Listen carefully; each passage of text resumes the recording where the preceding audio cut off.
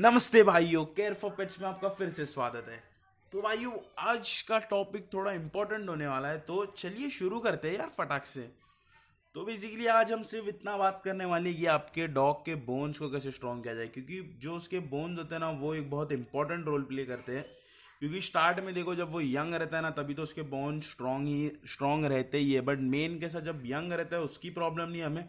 जब वो कैसे ओल्ड एज में जाता है ना, तब प्रॉब्लम होती है। क्योंकि अगर उसके बोन वीक हो गए ना तो बराबर से चल नहीं पाएगा वॉक नहीं कर पाएगा और वो मतलब फिर आपको तकलीफ़ होगी, क्योंकि फिर आपको उसे जगह जगह पर उठा के रखना होगा, वो चल नहीं पाएगा।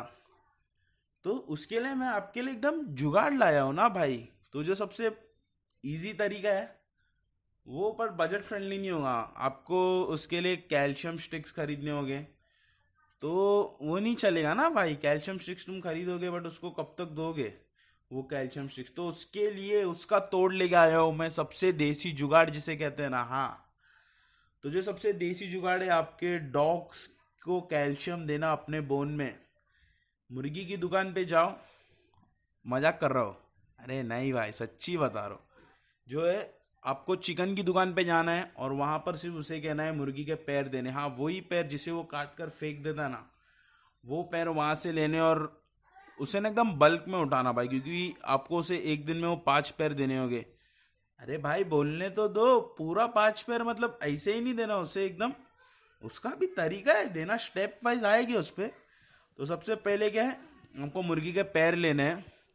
उसे गर्म पानी में रख के उसका जो स्किन होता है ना, वो स्किन देना है। और हाँ आप ये याद रखिएगा कि जब वो आपको मुर्गी के पैर दे रहा है, आपका जो चिकन का शॉप है, उसे कहना कि नेल्स जो मुर्गी के नाखून होते हैं ना, वो नाखून काट के दीजिएगा, क्योंकि नाखून में पूरी गंदगी जमा होती है।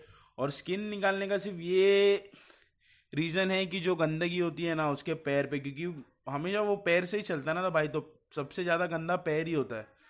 तो इसलिए हम उसके स्किन निकालते हैं ताकि उसकी कुछ जॉम जॉम ना आए। समझ रहे हो? और हार्म ना कर देना फिर आपके डॉग को।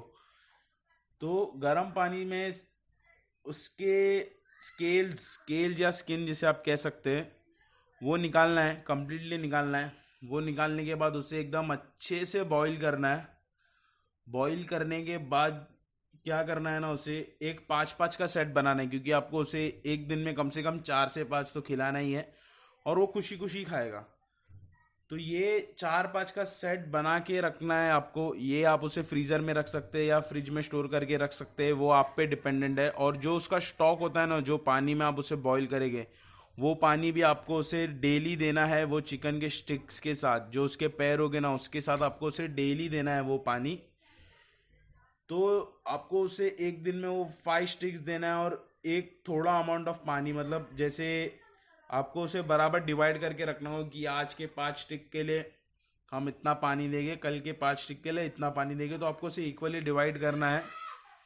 तो इससे क्या फ़ायदा होगा कि आपके डॉग के बोन्स है ना भाई फुल स्ट्रांग रहेंगे और बुढ़ापे में ना उसको तकलीफ़ होगी, ना आपको तकलीफ़ होगी।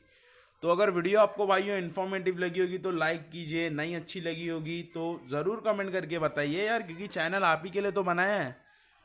और अगर लाइक किया तो भाई सब्सक्राइब तो कर ही दो। चलिए फिर फिर से नमस्ते।